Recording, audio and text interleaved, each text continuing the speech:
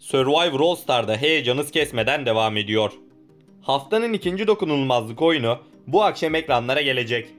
Acun Ilıcalı'nın dünkü konseyde açıkladığı üzere kazanan takım Real Madrid ve Manchester United çeyrek finali izlemek için Santiago'ya gidecekler. Ve iki gün otelde konaklayıp yiyip içip tatil yapacaklar.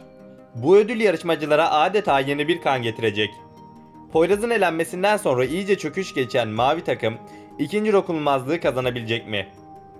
Dokunulmazlık oyununda daha önce de oynanan kaydırak ve havuz oyunu yarışmacıları bekliyor. Bu muhteşem ödülü kazanmak için yarışmacılar ellerinden gelenin fazlasını ortaya koyacaklar. Yarış alanında Hakan dizinden sakatlanarak hastaneye kaldırılacak. Peki bu zorlu mücadeleyi hangi takım kazanacak? Büyük ödül için savaşan kırmızı takım kazanan taraf olacak. Büyük ödül keyfini çıkaran kırmızı takım olurken mavi takım bir aday belirleyecek.